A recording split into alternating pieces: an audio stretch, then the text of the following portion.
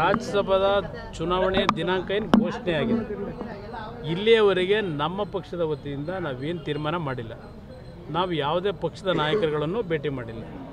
ಮಾಧ್ಯಮಗಳಲ್ಲಿ ಬಂದಿರತಕ್ಕಂಥ ಸುದ್ದಿಗಳು ನೋಡಿದ್ದೇನೆ ಅಷ್ಟೇ. ಆದರೆ ಒಂದು ಭಾಳ ಸ್ಪಷ್ಟವಾಗಿ ಹೇಳಲಿಕ್ಕೆ ಬಯಸ್ತೇನೆ. ಅದೇನೋ ನಾನು ರಾಜ್ಯಸಭೆಗೆ ಹೋಗಿ ನಾನು ಚನ್ನಪಟ್ಟಣ ಸ್ಥಾನವನ್ನು ತೆರವುಗೊಳಿಸಿ ನನ್ನ ಮಗ ನಿಖಿಲ್ ಕುಮಾರಸ್ವಾಮಿ ನಿಲ್ತಾನೆ ಅಂತಕ್ಕಂಥ ಒಂದು ಸುದ್ದಿ ಏನು ಹೊರಟಿದೆ. ಅದು ದ ಫುಲ್ ಸ್ಟಾಪ್ ಆಗಿಬಿಡಿ ಅದು ಯಾವುದೂ ಪ್ರಶ್ನೆ ಇಲ್ಲ. ನಾನೊಂದು ಎರಡು ದಿನ ನನ್ನ ಮಗನ ಜೊತೆಲಿ ಕರ್ಕೊಂಬಂದಿದ್ದು ಇವತ್ತು ನನ್ನ ಜನಗಳ ಕಷ್ಟ ಏನು ಅಂತಕ್ಕಂಥದ್ದು, ಅವರು ಸ್ಥಳೀಯವಾಗಿ ಖುದ್ದು ಭೇಟಿ ಮಾಡಿ ತಿಳ್ಕೊಂಡಾಗ ಮುಂದಿನ ದಿನಗಳು ಅವ್ರು ಯಾವ ರೀತಿ ಜನಗಳ ಮಧ್ಯದಲ್ಲಿ ಬೆರಿಬೇಕು ಅಂತಕ್ಕಂಥದ್ದು ಒಂದು ಅನುಭವ ಆಗಲಿ ಅಂತೇಳಿ ಕರ್ಕೊಂಬಂದಿದ್ದೇನೆ ಹೊರತು. ಚನ್ನಪಟ್ಟಣದ ಸ್ಥಾನವನ್ನು ನಾನು ತೆರವುಗೊಳಿಸ್ತಕ್ಕಂಥ ಪ್ರಶ್ನೆ ಇಲ್ಲ. ಮುಂದಿನ ಬಾರಿಯೂ ನಾನು ಇಲ್ಲೇ ಇರ್ತೀನಿ. ನಿಮ್ಗೆ ಯಾರಿಗೂ ನಿರಾಸೆ ಮಾಡೋದಿಲ್ಲ. ಮುಂದಿನ ಬಾರಿ ಸಹ ಭಾಳ ಜನ ಇವತ್ತು ರಾಮನಗರ ಚನ್ನಪಟ್ಟಣದಲ್ಲಿ ಕಾಂಗ್ರೆಸ್ನ ಗೆಲ್ಲಿಸ್ತೀವಿ ಅಂತ ಹೊರಟಿದ್ದಾರೆ ಈಗಾಗಲೇ. ಒಂದು ಕಡೆ ಪಾಪ ಕುಮಾರಸ್ವಾಮಿನ ಪಾಪ ಭಾಳ ಪ್ರೊಟೆಕ್ಷನ್ ಕೊಟ್ಟು ನಿಲ್ಲಿಸ್ಕೊಂಡ್ರು. ಪಾಪ ಮುಖ್ಯಮಂತ್ರಿಯಾಗಿ ಭಾಳ ಬೆಂಬಲ ಕೊಟ್ಟುಬಿಟ್ರು ನನಗೆ, ಗೊತ್ತಿದೆ ನನಗೆ. ಯಾರ್ಯಾರಿಂದ ನಾನು ಸ್ಥಾನ ಕಳ್ಕೊಂಡೆ ಯಾಕೆ ನಡ್ಕೊಂಡೆ ಹದಿನಾಲ್ಕು ತಿಂಗಳು, ಹೊರಗಡೆ ಏನೇನು ಪ್ರಚಾರ ಪಡ್ಕೊಂಡಿದ್ದಾರೆ ಕೆಲವರು, ಏನೋ ಕುಮಾರಸ್ವಾಮಿನ ಉಳಿಸಿದ್ದೆ ನಾವು ಅಂತ ಹೇಳಿ, ಈಗ ರಾಮನಗರ ಜಿಲ್ಲೆ ಅಕ್ವೈರ್ ಮಾಡ್ಕೊಳ್ಳಿಕ್ಕೆ ಹೊರಟಿದ್ದಾರೆ, ದಾಳಿ ಮಾಡ್ಕೊಂಡು ಇವತ್ತು ನನ್ನ ಪಕ್ಷ ಮುಗಿಸ್ಬಿಡ್ತೀವಿ ಅಂತ ಹೇಳಿ. ನನ್ನ ಕಾರ್ಯಕರ್ತರೇನು ಮನೇಲಿ ಸುಮ್ಮನೆ ಕೂತಿರೋದಿಲ್ಲ. ನನ್ನ ಕಾರ್ಯಕರ್ತರು ಅಷ್ಟೇ ಸದೃಢವಾಗಿದ್ದಾರೆ. ರಾಮನಗರ ಇರಲಿ, ಚನ್ನಪಟ್ಟಣ ಇರಲಿ, ಮಾಗಡಿ ಇರಲಿ, ಎಲ್ಲ ಕಡೆಯೂ ನನ್ನ ಕಾರ್ಯಕರ್ತರು ಶಕ್ತಿಯುತವಾಗಿ ಇದ್ದಾರೆ.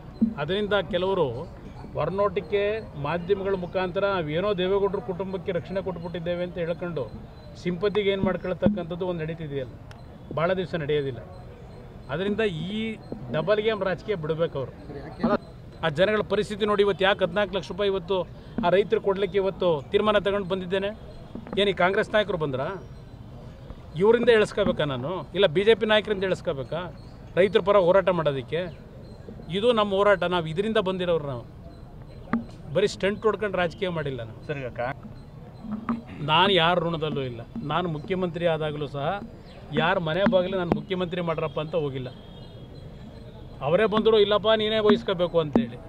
ನರೇಂದ್ರ ಮೋದಿ ಅಂತ ನಾಲ್ಕು ವರ್ಷ ನೀನು ಏನು ಸಮಸ್ಯೆ ಇಲ್ಲದಂಗೆ ನಾನು ನೋಡ್ಕೊತೀನಿ ಬಾರಪ್ಪ ನನ್ನ ಜೊತೆ ಅಂತಾಗಲೇ ನಾನು ಹೋಗಲಿಲ್ಲ.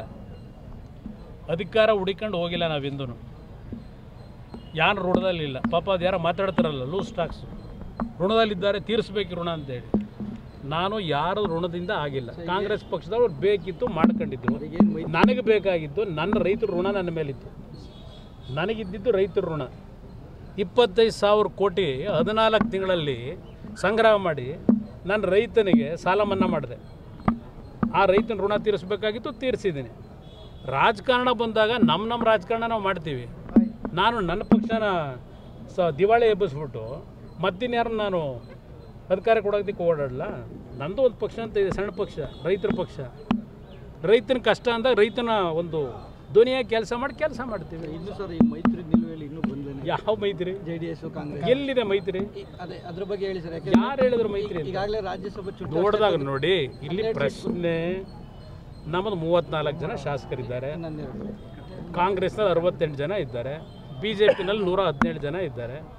ಇವತ್ತು ಬಿ ಜೆ ಪಿ ಎರಡು ಸ್ಥಾನ ಅವರು ಕಂಫರ್ಟಬಲಾಗಿ ಗೆಲ್ಲಕ್ಕೆ ಅವಕಾಶ ಇದೆ. ಕಾಂಗ್ರೆಸ್ಗೊಂದು ಸ್ಥಾನ ಗೆಲ್ಲಿಸ್ಲಿಕ್ಕೆ ಅವಕಾಶ ಇದೆ. ಕಾಂಗ್ರೆಸ್ಗೆ ಇನ್ನು ಒಂದು ಸ್ಥಾನ, ಇನ್ನೊಂದು ನಾಲ್ಕನೇ ಸ್ಥಾನ ಹೊಂದಿದೆ. ಆ ಸ್ಥಾನಕ್ಕೆ ಯಾರು ನಿಲ್ತಾರೆ ಏನು ಅಂತಕ್ಕಂಥದ್ದು ನಾವೇನು ಇನ್ನೂ ತೀರ್ಮಾನ ಏನು ಮಾಡಿಲ್ಲ ನಮ್ಮಿಂದ. ದೇವೇಗೌಡರು ಸಹ ಅದ್ರ ಬಗ್ಗೆ ಏನು ಒಲ ಅವ್ರ ಜೀವನದಲ್ಲಿ ದೇವೇಗೌಡರು ಏನಿದ್ರು ಜನಗಳ ಹತ್ರಕ್ಕೆ ಹೋಗಿ, ಜನಗಳ ಮಧ್ಯದಲ್ಲಿ ಅವ್ರ ಸಮಸ್ಯೆಗಳನ್ನು ಇಟ್ಕೊಂಡು ಹೋರಾಟ ಮಾಡಿ, ಜನಗಳಿಂದ ಆಶೀರ್ವಾದ ಪಡ್ಕೊಂಡು ಹೋಗಿದ್ದಾರೆ, ರಾಜಕೀಯ ಮಾಡಿದ್ದಾರೆ ಹೊರತು ಅರವತ್ತು ವರ್ಷದ ಜೀವನದಲ್ಲಿ ಹಿಂಬಲದಿಂದ ಏನು ರಾಜಕೀಯ ಮಾಡಿಲ್ಲ. ಅದು ಸುಮ್ಮನೆ ಏನೇನೋ ಚರ್ಚೆಗಳಾಗ್ತವೆ, ನೋಡೋಣಂತೆ.